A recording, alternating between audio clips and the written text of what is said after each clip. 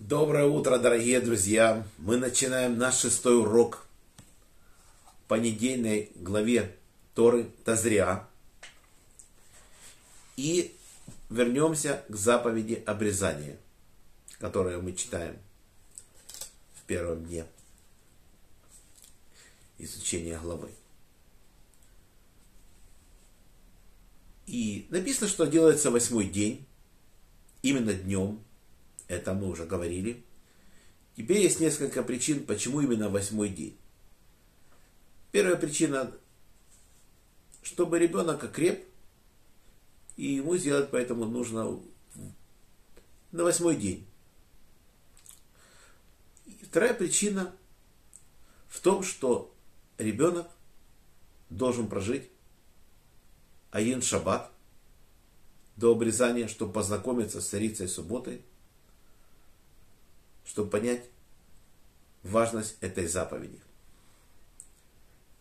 Поэтому делается на восьмой день. По-любому один шаббат за эти дни будет.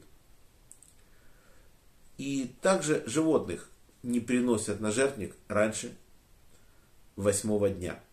То есть семь дней должно пробыть животное под матерью своей, а на восьмой день уже годится для того, чтобы принести в жертву. И приводит Мидраш такую вещь, что царь со своим другом хотел сесть за стол, но он сказал, что я бы хотел тебя сначала познакомить с царицей. Вот так наши мудрецы говорят, что вот обязательно Всевышний должен познакомить нас с субботой. Перед за это обрезание. Потом очень интересно Мидраш рассказывает за нашего раби Акиву благословенной памяти и римского наместника Турфуса Руфуса. И Турфус Руфус спросил раби Акивы, он говорит, чьи дела важнее, Всевышнего или человека?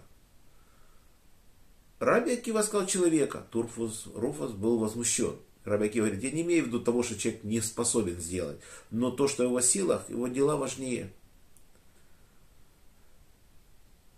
И он принес на следующий день булку, которую жена его испекла с пряностями, прекрасную, с маслом испекла, принес Торфусу Руфусу, принес зерно. И говорит, чьи, что важнее, хлеб или зерно? Турфурус говорит, конечно, зерно. И, конечно, хлеб, он говорит, хлеб. В готовом виде. Вот. Также и обрезание Всевышний нам дает Жизнь дает человека, мы делаем обрезание по его указанию. Вот. И Турфурс говорит, зачем это делать? Человек уже рождается совершенным, творение Всевышнего совершенно. Рабики говорит, не только в этом нужно вмешательство человека. Человек должен делать. Это то же самое, что сказать, что не нужно перерезать да, пуповину, которую Всевышний оставляет прикрепленной матери. Поэтому дела человеческие важнее, он говорит.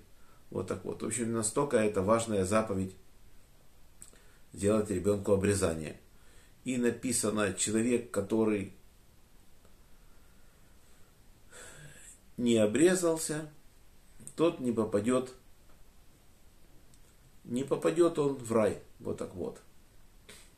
Так написано что если даже у нее есть какие-то нарушения, то Всевышний спасет за счет этой заповеди. Все, на сегодняшний нас урок заканчивается. Всем всего самого наилучшего. Шаббат шалом. Урок был дан за поднятие души Яков бен Нахум, Владимир бен Григорий, Павел бен Ефим, Хая Малка бат Йосиф, Мира бат Авраам, Роза бат Михаэль, памяти Ури бен Харитон, Мендель бен Мендель, за здоровье Светлана бат Клара, Гитл бат Мирьям, Борис бен Мария, Анна Бат Ривка, Полина Перл, Бат Соня Сура, Лена Бат Клара, Женя Бат Ида, Анна Бат Елена, Евгений Бен Софья, Двойра Бат Мирьям, Моисей Бен Ева, Ирина Бат Двойра, Иосиф Бен Раиса, Инесса Бат Маэль, Евгений Бен Берта, Евгения Бат Ита, Иска Шимон Бен Бейла Мотл, Фира Бат Анна, Гитл Бат Мирьям. За хороший дух Арона Ребен Двойра, Денис Бен Ахом, Авигал Бат Сара. Всем всего самого наилучшего. Шаббат шалом.